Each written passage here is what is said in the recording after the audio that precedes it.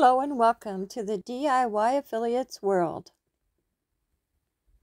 My name is Rochelle, and the brand that I created is called the DIY Affiliate on YouTube.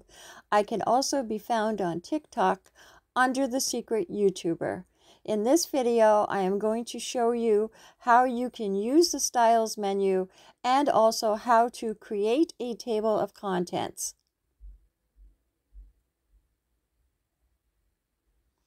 So stick around, I give you just the facts. Let's jump into the video.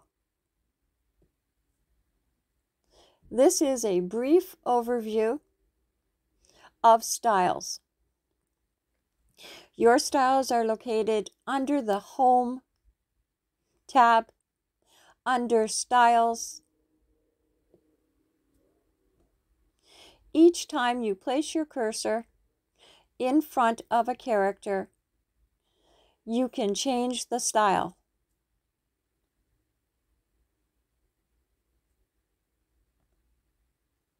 You can create a new style, clear all your formatting, or apply styles.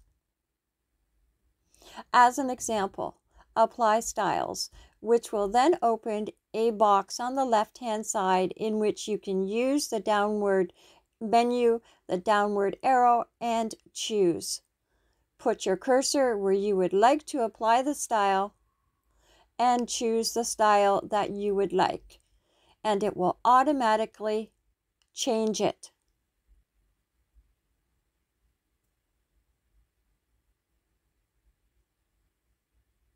You can move this box, resize it, or close it. You can scroll down to four rows of your already built-in styles or you can open the styles palette.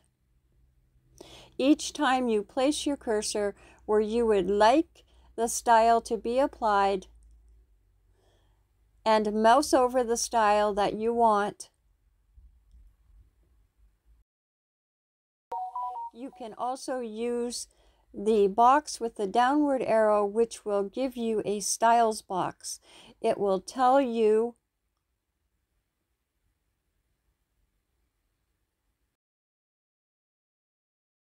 if you click into the options, you can select styles to show recommended, in use, current document, or all styles. You choose all styles, it will show all of the different styles that are built in styles that you aren't working with. So you would choose the styles that are in use. Select how the list is sorted and you can choose by font based on by type. You can also select formatting to show as styles in your paragraph level, formatting font, formatting bullet number, formatting and this is for all new documents.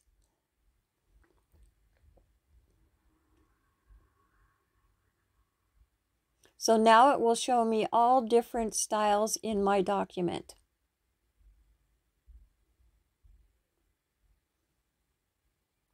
As an example, I'm just going to go to the chapter one. You can choose your style.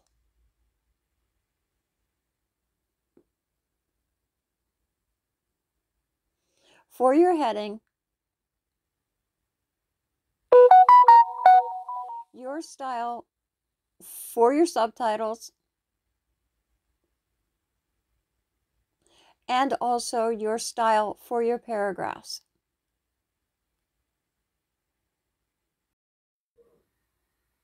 Those are the three main styles that you want to use with your Kindle Create.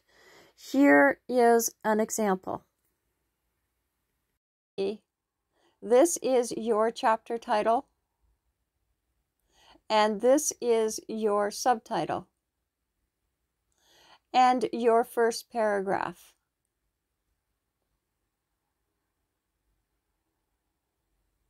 All with the indents to create a paragraph Here is an example of a paragraph. This is an indented. Just go highlight, a pop-up box comes up and you can choose the style. There are a couple of ways you can look at a paragraph. You can use the pop-up box when you highlight or you can use this editing box on the top ribbon called paragraph in order to structure your paragraph simply by highlighting and choosing the icon that you would like for your paragraphs.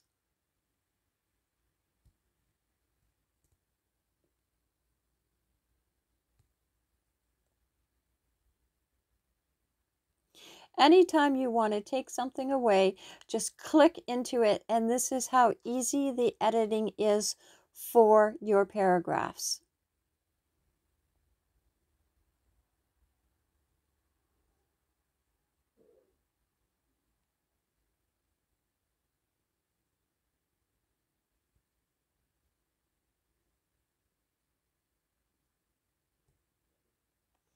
You can also change the theme colors.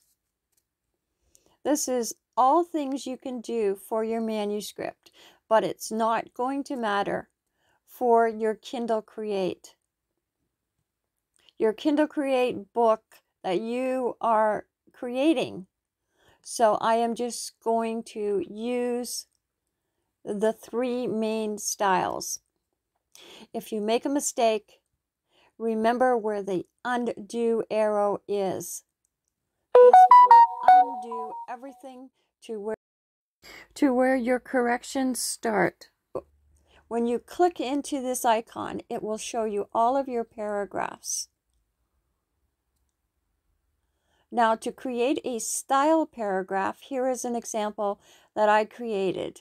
This is a Kindle paragraph I created and you can just go into create a style. Give your style a name. So we're going to call it new paragraph. Choose modify. So the name is new paragraph and the style type is linked paragraph and character. That's what it is. If you choose, eh, when you look down at format, you will see your choices. So you want to make sure you choose paragraph. A pop-up box will come up and you will also see a preview screen. Here you can preview as an example. The left you can see it's from the left is zero pixels. Then your first line, because this is special, it is going to be 10. You can also see it moving in to make it 15 or 20 and 20 would be almost the equivalent of what you would have as an indent of 5 in the Kindle Create. And your spacing, if you are using the first line and an indent, your spacing will be 0.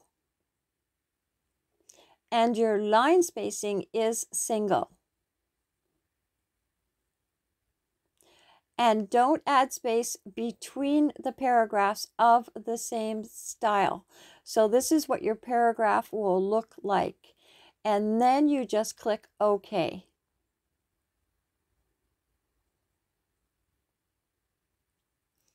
Choose automatically update and new documents based on this template and choose OK. So now when you use your cursor, and you highlight your paragraph, you can now choose it as your new paragraph.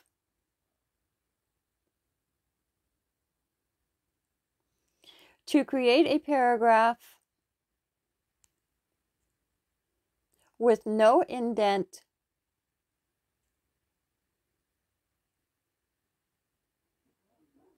Here is an example. I am just going to go into the Kindle paragraph I created and use modify. And here you can see I did say the Kindle paragraph, list paragraph, or Kindle paragraph. It tells me the font is 12. It also tells me that the left is 10 pixels indented and we don't want that. So we want to check the format, paragraph, pop-up box, and make sure that we don't have anything indented. So now we have zero pixels and single and it says don't add space between the paragraphs of the same style. This one we don't click this because we want to add space between this style. Also, you will find your window orphan control and also keep the next lines together, page break before suppress uh, line numbers, don't hyphenate, and you can choose any one of these and then click on OK.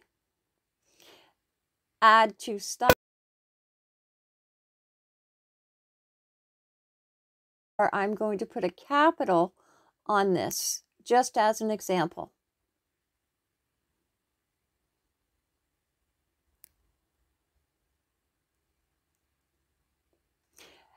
And then new document based on the template and OK.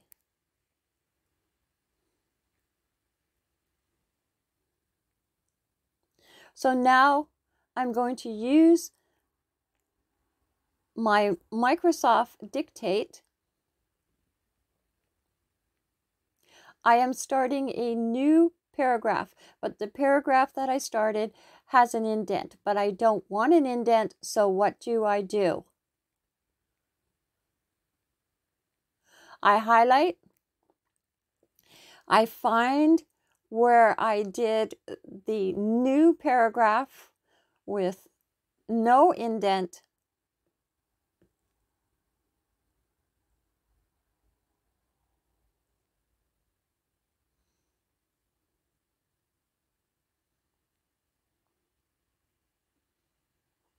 I am still dictating. I am now writing a new paragraph without the indent.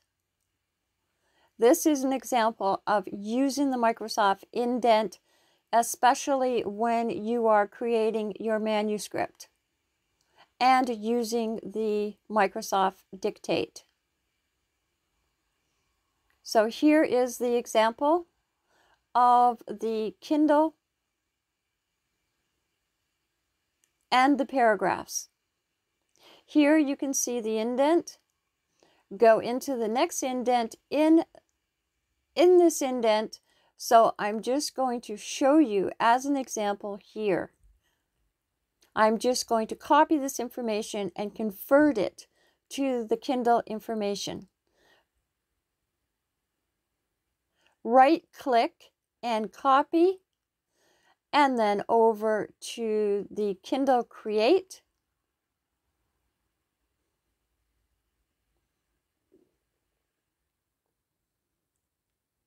In order for you to have the right spacing the first time, when you are creating your Kindle ebook, you want to highlight your paragraph.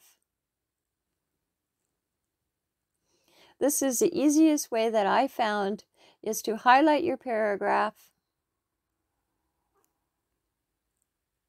and make sure it is in the right style and choose modify. Format your paragraph and here is where I have spacing before and after as one I'm going to choose now two spaces before and after and you can see and then OK. Add to the styles gallery automatically update new documents based on the template and OK. So now I want to make sure that I have the right style, which is the Kindle, and it's going to tell me I need to, to reapply and then, okay, now I'm going to copy this information and convert it to my Kindle Create ebook.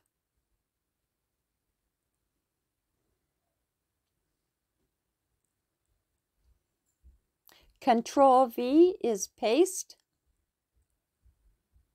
And you can see there is more space between your paragraphs.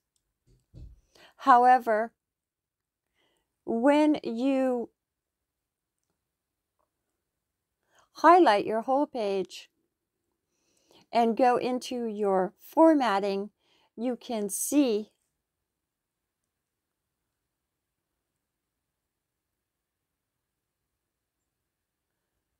You can add space between your paragraphs as much as you would like or as less as you would like. Okay, so now the last thing is to create a table of contents with one click. So I want to insert a blank page and go to my references to the table of contents and here I can use an automatic table of contents. Now, what you will notice is that the table of contents will take your heading 1, heading 2, and heading 3. It will be chapter 1, chapter 2, chapter 3, and chapter 4.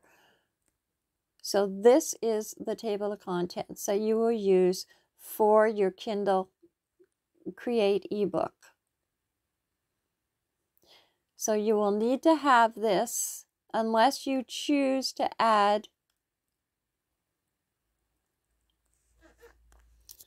a subtitle to your title.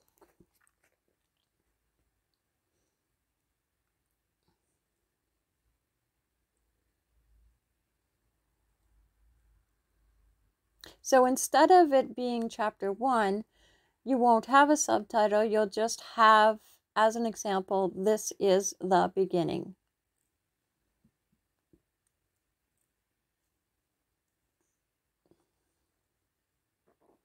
This is what your table of contents will look like in your Kindle Create ebook.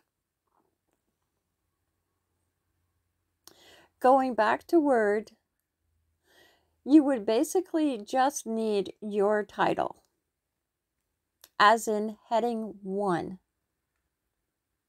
you can do a custom table of contents for your ebook. This is your, your table of contents options. You can add and remove headings. Choose OK uncheck the show page numbers unless you are using your manuscript for a paperback and check to use hyperlinks instead of page numbers for your ebook. When you are done, you just click OK. And this will replace the table of contents and now, where do you find your table of contents in your styles menu? Under TOC heading.